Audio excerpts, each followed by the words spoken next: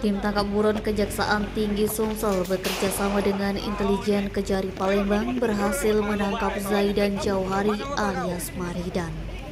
Zaidan sebelumnya masuk dalam daftar pencarian orang dalam kasus pengrusakan mobil pada tahun 2021.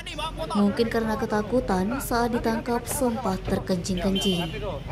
Terpidana Zaidan Jawari alias Maridan ini ditangkap oleh tim tabur sekitar pukul 14.30 waktu Indonesia Barat saat lagi nongkrong di sekitar wilayah Palembang Indah Mall.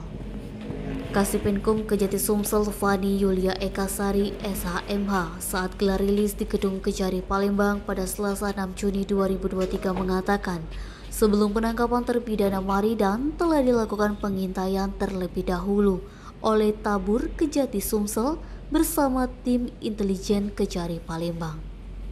Maridan pada tahun 2021 telah dinyatakan bersalah dan difonis pidana satu tahun tiga bulan penjara oleh Pengadilan Negeri Palembang.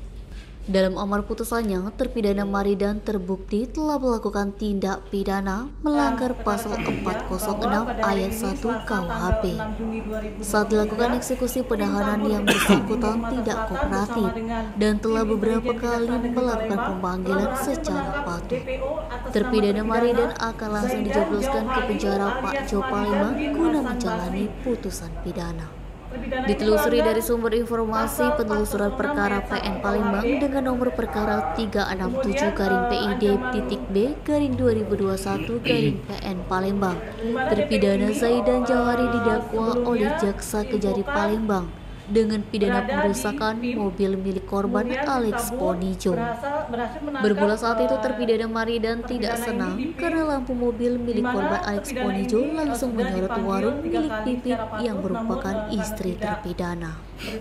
Saat itu korban Alex Ponijo sedang parkir kendaraan sementara hendak menurunkan beberapa tabung gas. Hingga keributan tidak terelakkan antara korban dan istri terpidana.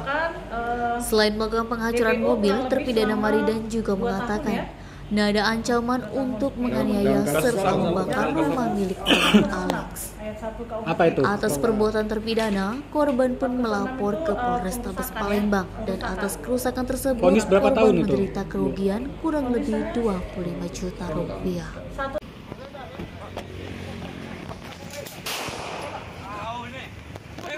Fadri Sumek.ku melaporkan.